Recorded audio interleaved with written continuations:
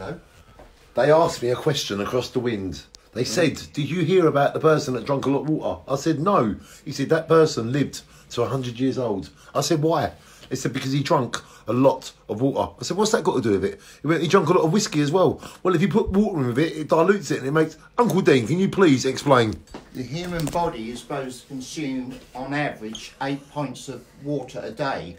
And when people drink tea and coffee, it takes five hours for the body to take the tea and coffee out and dissect the water from that. So that takes five hours to do that. So you might as well I just drink water.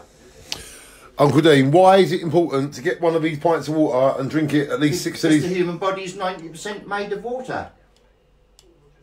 We're made of water. The human body is 90% of its water, isn't it?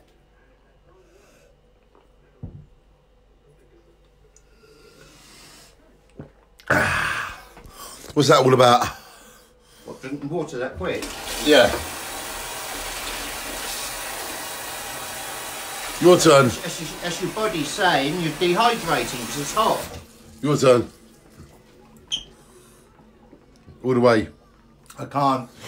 I can't drink Ladies and quick, gentlemen, I can't drink We are quick. showing you that it's important to drink water. You might not want to drink water, but you must drink water because then you will live longer. Over 90% of your body is water. If you drink water, it's good for your body and it gets all the toxins out and you sweat it out and you have a long, healthy, happy life. Even if you drink and smoke and do other things, the water will help you live long. Humans can live without food, healthily, on water, just water, for a month.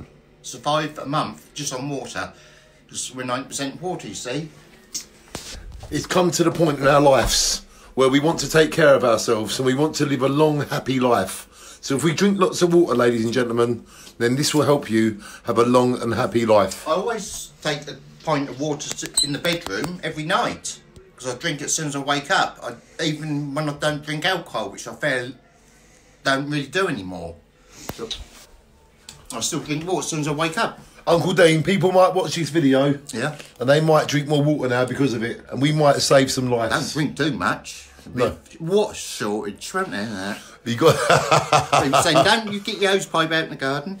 ladies and gentlemen, please do me and Uncle Dean a favour. Please drink more water. And not the fermented kind, you riffraff. Shine on you beauties and happy love, peace, shine all the time from me and Uncle Dean. And remember, drink lots of water. What was- Eight pints a day. Water, water, water. Don't taste like you oughta. When you're sipping your tea and coffee, that's not actually quenching your thirst and doing your body any good until five hours later.